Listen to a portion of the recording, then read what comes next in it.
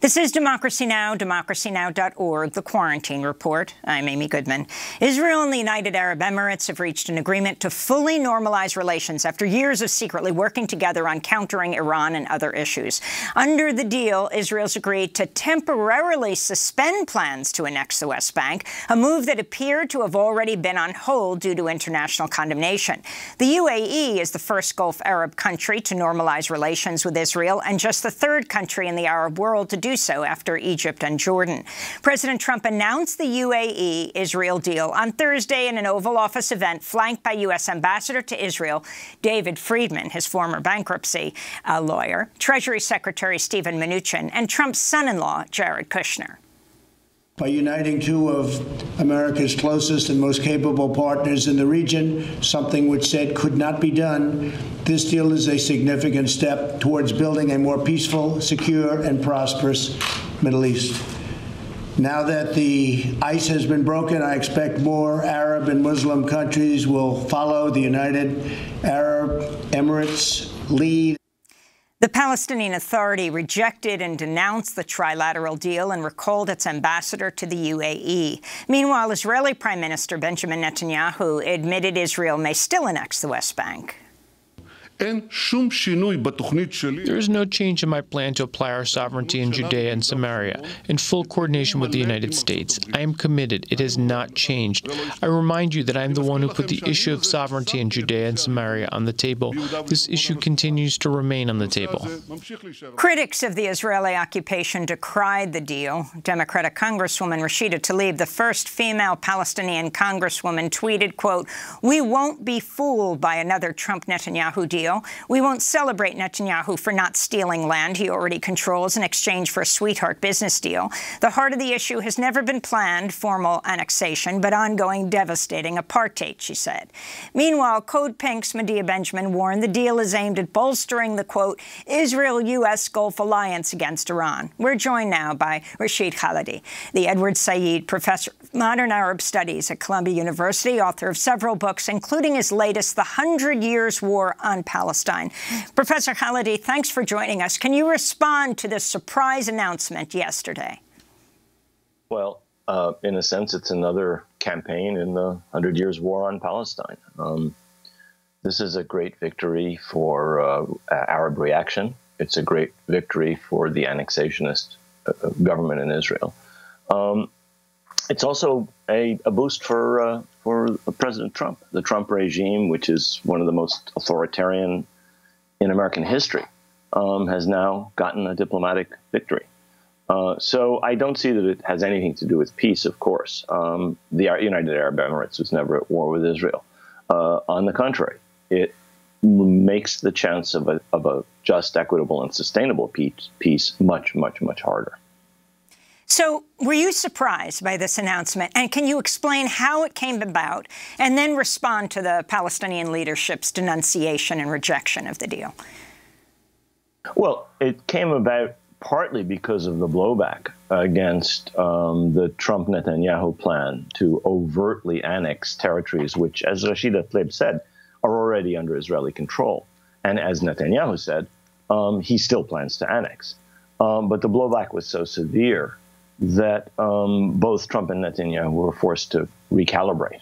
Um, and this is something that has already always been ongoing. Uh, the plan to bring uh, the most reactionary, most most absolute monarchies in the world um, into an open uh, public alliance with Israel as part of the Netanyahu-Trump obsession uh, with Iran, um, which is something that these regimes are also obsessed with, given that they have they do not depend on consent of the governed. Uh, they do not have any kind of domestic legitimacy. They're they're anti-democratic. They are the forces that fight against democracy throughout the Arab world. Um, the United Arab Emirates is not a force for peace. It's at war with the people of Yemen. It's at war in Libya. Um, it has never uh, uh, been involved in a war with Israel. So this is this is making overt uh, a relationship that was already covert. Uh, this is making even more salient uh, an alliance against Iran, uh, which is the wet dream of both Netanyahu and Trump. to, to, to dangle Iran in front of people's eyes, to distract them from the kinds of uh, reactionary dictatorships or absolute monarchies. Um, those monarchies uh, uh, are, are so reactionary uh, that they make uh, you know Henry VIII and Louis XIV look like Tom Paine and Robespierre. They are the most they are the most absolute monarchies uh, in the world today. Uh, the fact that the United States is supporting them is an absolute disgrace. Well, on Thursday, President Trump was questioned about whether Israel may still annex the West Bank. This is what he said.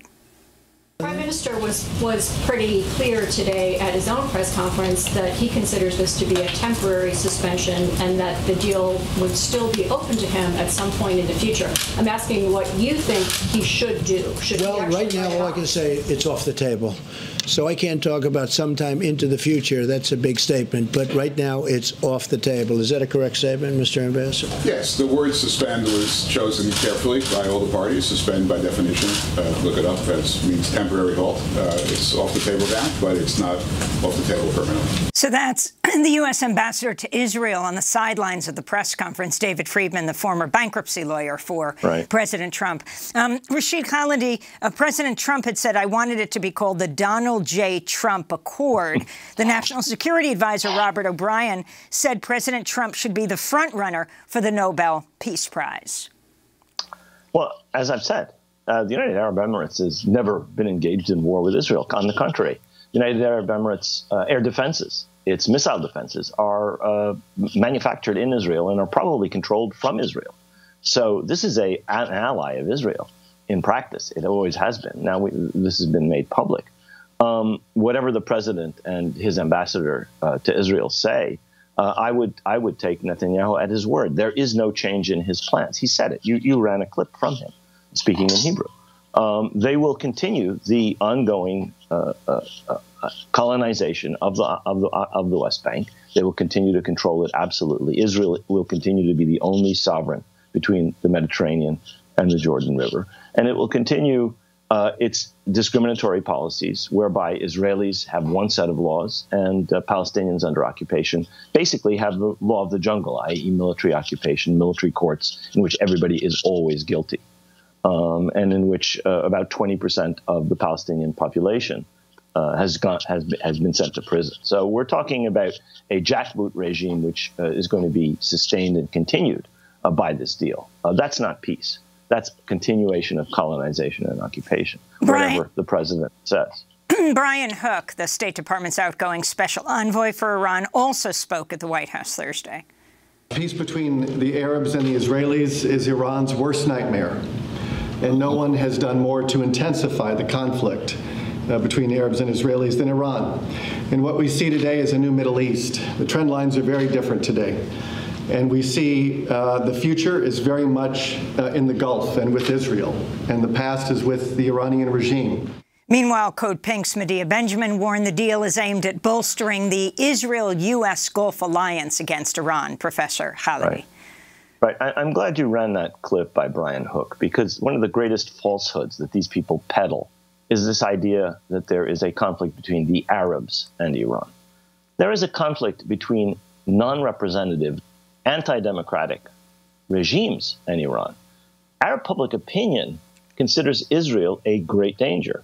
Uh, there are polls every couple of years run by the Arab Center, uh, which show that across a dozen Arab countries, the Arabs, the people, most of them unrepresented by these dictatorships and absolute monarchies, consider Iran a minor threat. It's a, it's a problem, but it's not the number one problem. For these regimes, which have no domestic legitimacy, which do not depend on consent of the governed, of course Iran is a problem. Moreover, they need the United States and Israel because they can't defend themselves given the fact against their people, let alone against external threats, because they have no domestic legitimacy.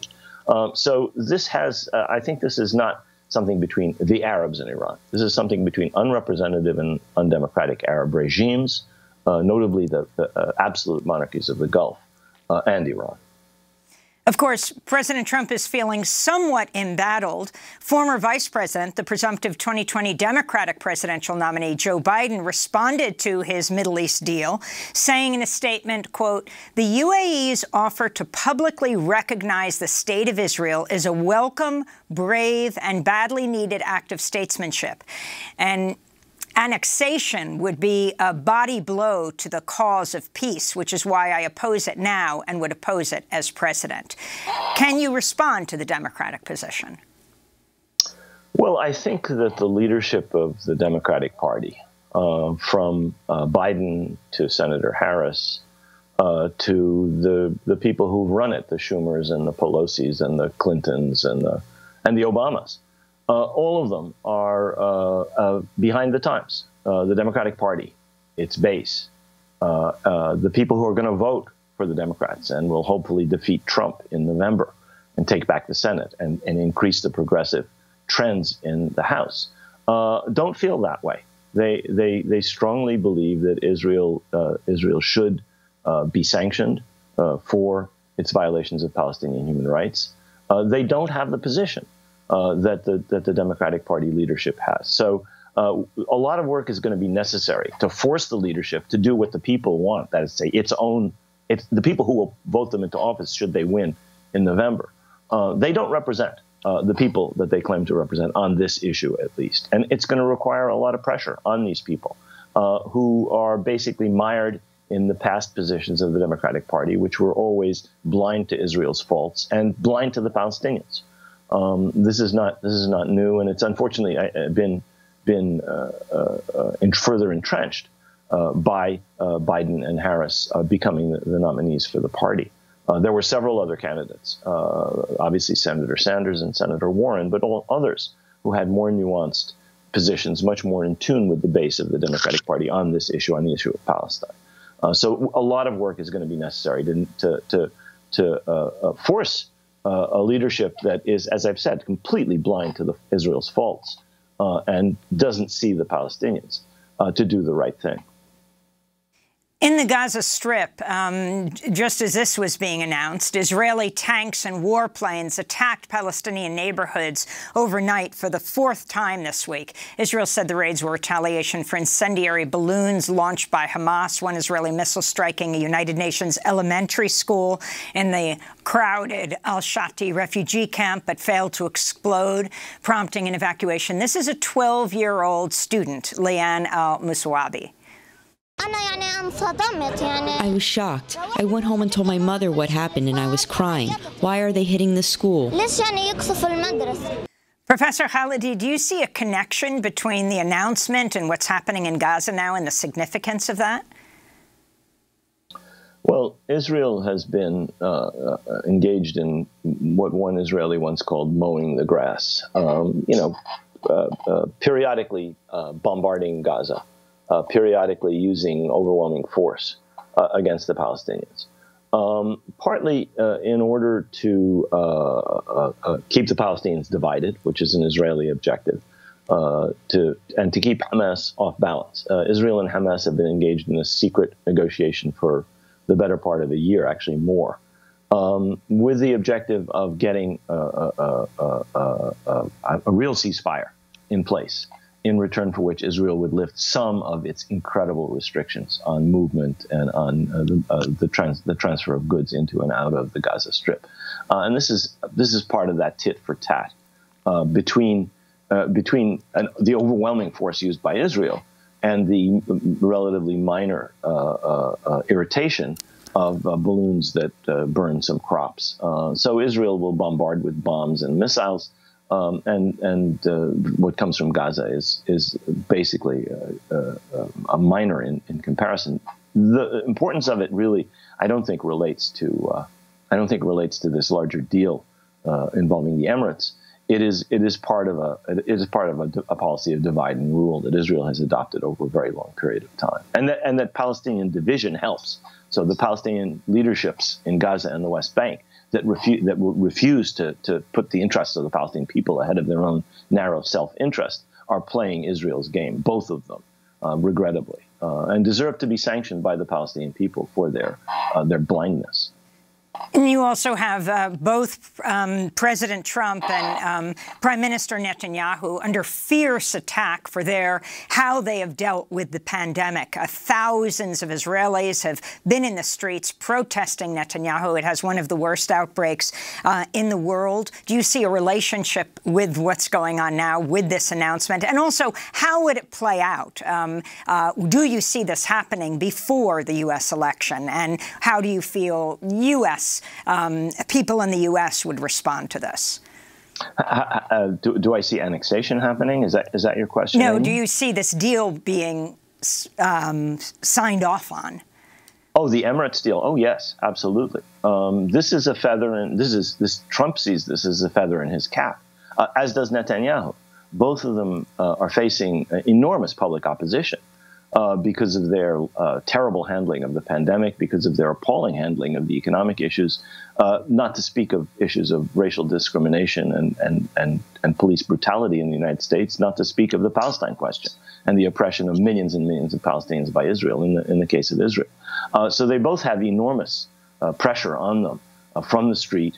We, we, have demonstrations in the street, they have demonstrations in the street in Israel both rulers have the kinds of autocratic tendencies. I think they wish they could be Mohammed bin Zayed or or Mohammed bin Salman in Saudi Arabia, where they could simply rule by fiat. And the president is moving towards that, trying to move towards that in this country. And Netanyahu has been moving towards that uh, himself. So uh, they are under enormous pressure from below. And this is a distract. This is meant by both of them in terms of domestic public opinion as a distraction.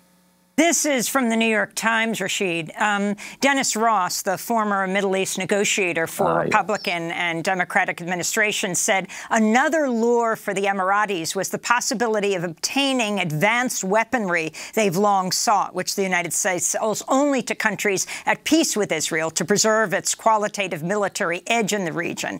Um, your thoughts?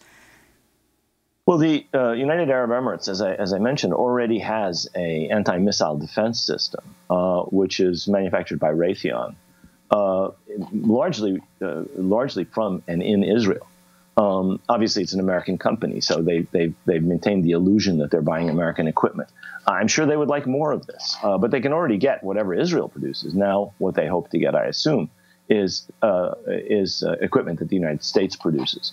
Um, so it is it is a cozy rela- it's a business relationship, um, as Rashida Tlaib, uh, uh, Congressman Tlaib rightly said. Uh, at base, uh, Bin Zayed is is paying for protection um, from the local bullies on the block, the United States and Israel, uh, from his own people, uh, from the Arab peoples, um, and from external enemies. and he needs the the, the weaponry uh, with which with which uh, he he can he can defend himself uh, against these external enemies. So yes, I think that is actually part of the deal. Ross unusually is right on this. And finally, what do you think a just deal would look like in the Middle East and between the Israelis and the Palestinians? A just a just deal means equal rights for everybody. A just deal means that uh, uh, national rights uh, have to be accepted for both people. Uh, the nation state law, uh, Israel is a Jewish nation state of 2018, said uh, there's only one people entitled to self determination in the land of Israel. Uh, and that, that, cannot, that cannot stand. Um, there are two peoples there.